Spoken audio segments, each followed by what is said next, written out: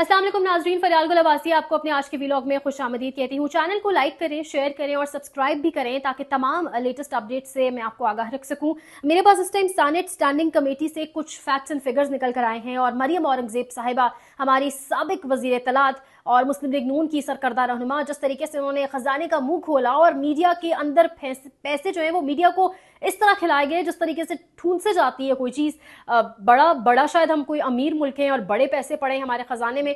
जिस तरीके से मीडिया को पैसे खिलाए गए और जिस तरीके से मेहरबान हुए ये हुकूमत वाले, ये मरियम औरंगज़ेब साहिबा, हमारी वजारत इतलात मीडिया पे उसकी मैं कुछ कुछ फैक्ट्स आपके साथ शेयर करूँगी, लेकिन उससे पहले ये मैं इसकी डिटेल्स तो आपसे शेयर करती ही हूँ, लेकिन उससे पहले मुझे आपको बताना है कि अभी मैं कुछ देर पहले औरिया मकबूल जान साहब को सुन रही थी और औरिया मकबूल जान साहब और उनके व्यूज़ आज सुबह एमपीओ की बड़ी गूंज सुनी गई। एमपीओ जो एक इन दिनों हम बड़ा सुन रहे हैं एमपीओ के तहत इसको उठा लिया एमपीओ के तहत उसको उठा लिया। एक ऐसा कानून आ गया हमारे पाकिस्तान में, ये एमपीओ नाम का एमपीओ थ्री के तहत उठा लिया कि जिसके आगे अदालतें भी बेबस दिखाई दे रही हैं, अदालतें रिहाई का हुक्म देती हैं, बाहर निकलता है बंदा, फिर एमपीओ थ्री के तहत उठाया जाता है, चाहे मर्द हो, चाहे औरत हो, शानदाना गुजार के केस में शहरियार आफरीदी के केस में, परवेज अलाई का जो केस और जो आँख मचोली, हम जो मनाजर देख रहे हैं जो उनकी उम्र है, जिस तरीके से वो एक सबक वजर अला हैं, लेकिन किसी चीज़ का जो है वो एहतराम नहीं किया जा रहा। माशरती इकतदार तो बहुत दूर की बात है कि हमारी कुछ रवायात को सामने रखा जाए। उसके अलावा भी जिस तरीके से उठाया जा रहा है, लोगों को एमपीओ थ्री के तहत ही मेंटेनेंस पब्लिक ऑर्डर एक कानून है,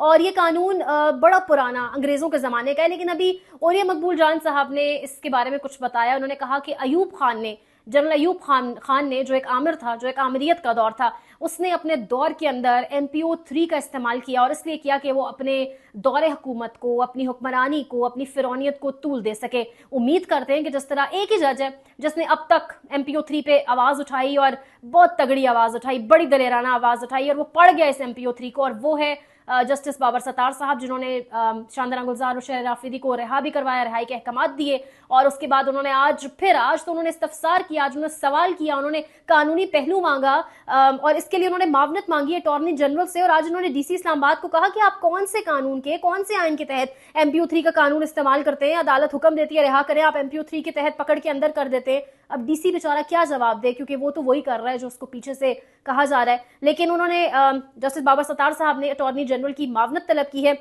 मैंने आपको वीलॉग के अंदर तफसीला आगाह भी किया है जो परवेज अलाई केस की अपडेट्स थी वीलॉग के अंदर मैंने आपको आगाह किया आप जाकर देख भी सकते हैं। लेकिन जस्टिस बाबा सतार ने अटॉर्नी जनरल की कानूनी मावनत भी तलब की है कि बताया जाए कि ये एम पी थ्री की कानून में क्या हैसियत है और ये क्या मामला है। लेकिन हमें ये तो पता था कि ये बड़ा पुराना और ये अंग्रेज़ों के ज़माने का एक, एक एक बनाया हुआ एक रूल है। और हमारा अपना आर्टिकल हमारा अपना आइन के अंदर जो आर्टिकल नंबर छः चार दस हैं इवन आर्टिकल पंद्रह भी गालिबन ये इसको सपोर्ट ही नहीं करते और ये उन पर पूरा नहीं उतरता। लेकिन अभी और मकबुल जान साहब ने इसको बड़े अच्छे से रिलेट किया, जो नयूब खान के दौर के साथ, अभी उनका मैं पूरा सुन नहीं सकी, मैं अभी पूरा वीलॉग उनका सुनूँगी, लेकिन उन्होंने इसको रिलेट किया। अच्छा मरियम औरंगज़ेब साहिबा ने सैनेट की स्टैंडिंग कमेटी से जो खबर आती है, जो फैक्ट्स निकल कर आते हैं मीडिया को पैसा खिलाया और मरीम औरंगज़ेब साहिबा नाजरीन की वही मरीम औरंगज़ेब साहिबाएँ वज़ीर तलात थी कहने को। लेकिन इन्हें यह नहीं पता था कि इमरान रियाज खान पाकिस्तान का एक जाना माना जर्नलिस्ट है, एक ऐसा सहाफी है जिसको पूरा पाकिस्तान सेलिब्रेट करता है, मनाता है। वो नहीं है चार महीने से मंजर आम पर तो पूरा पाकिस्तान इस चीज़ को फील कर रहा है।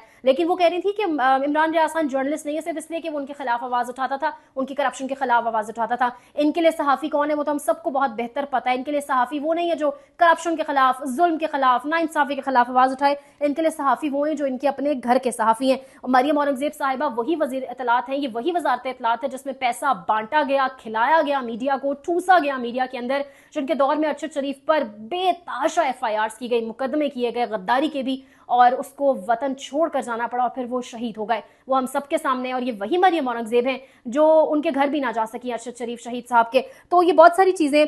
अच्छा तकरीबन जो है, जो बताया गया 16 महीने के अंदर एक हज़ार करोड़ रुपया मीडिया, जो इलेक्ट्रॉनिक मीडिया उसको दिया गया है। एक अरब तेईस करोड़ रुपए डिजिटल मीडिया को दिए गए। डिजिटल मीडिया को क्या कहा गया होगा? क्या करें अब डिजिटल मीडिया क्या है? मेरे ख्याल से फिर जावेद चौधरी साहब को दिए गए होंगे, आसमा शराजी को दिए गए होंगे और अंसार अबासी को तो ज़रूर दिए गए होंगे कि बैठ बैठ कर वी बनाए और जितने झूठ और जितनी तारीफें बाँध सकते हैं और जितने झूठ बोल सकते हैं, इमरान खान के लिए बोले और ये जो आजकल अंसार अबासी साहब के वी है, मुझे लगता है वो तब का पैसा अब इस्तेमाल कर रहे हैं। अच्छा ये जो नौ अरब है, ये इश्तहारात पे इस्तेमाल हुआ है। और इश्तहारात में सोच रही थी कि कौन से इश्तहारात ये जो आजकल लोग रो रहे हैं, रोड्स पर हैं, जो बिजली के हालात हैं, जो बिजली के बिलों पे लोग रो रहे हैं, वो वाले इश्तहारात क्या उसमें लोगों की वो वाली वीडियोस लगाई गई होंगी? और बिजली के बिल के अंदर आपके दस किस्म के टैक्सेस हैं further tax more tax other tax मेरे ख्याल से ये सब कुछ अब यहीं से निकलेगा और ये जो आपने मीडिया को पैसा खिला के एक, अपना लिए एक मौकफ बनाने की और बयानियाँ बनाने की कोशिश की है, वो तो नहीं बन सकेगा। अवाम अब आपको जान चुकी है और जहाँ बहुत कम रेशो है, बहुत कम सहाफ़ी हैं आपसे पैसा लेकर खाने वाले, वहाँ बहुत से ऐसे भी हैं जो सच बोलने वाले अभी भी बैठे हैं। लेकिन जो मीडिया को पैसा खिलाया गया, ये अवाम का पैसा था, ये मेरा और आपका पैसा था, ये मेरा और आपका हक था और ये अब हमारी जेब से मुख्तलिफ़ किस्म के टैक्सेस के ज़रिए जो है ये निकलेगा। लेकिन जो ये बयानियाँ बनवाना चाहते थे, इतने अरबों, खरबों रुपए खिलाकर भी, वो बयानियाँ तो ये फिर भी नहीं बना सके। और इतने अरब रुपए खिलाने के बावजूद भी मियाँ नवाज़ शरीफ साहब में इतना गट्स नहीं है, इतनी हिम्मत नहीं है, इतनी ताकत नहीं है, इतना स्पाइन नहीं है कि वो पाकिस्तान आ सके। तो अंदाज़ा लगा लें, अगर ये कुछ भी ना करें रियाती मशीनरी का इस्तेमाल ना करें तो ये तो बिल्कुल सफ़ाई हस्ती से ही पाकिस्तान की मिट जाए और अपने आबाई वतन लंदन में ही हमेशा के लिए रहना पसंद करें। अपना ख्याल रखिए, अल्लाह ने के बाद।